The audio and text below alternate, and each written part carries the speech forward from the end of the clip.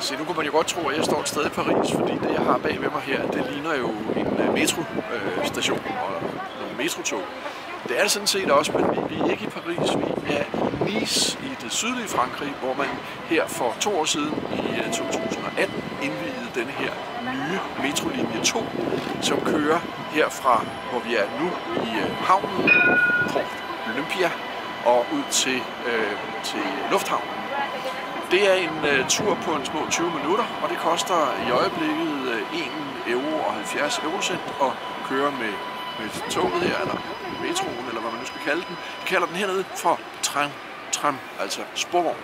Og det er også en sporvogn nogle steder. Her kører den så ikke på strøm, men den har pantografer på taget, og kan altså køre strømløst øh, ved hjælp af batterier i toget, og så lade batterierne op via pantografen, når, øh, når den kører inde i byen, hvor der er øh, strømforsyning.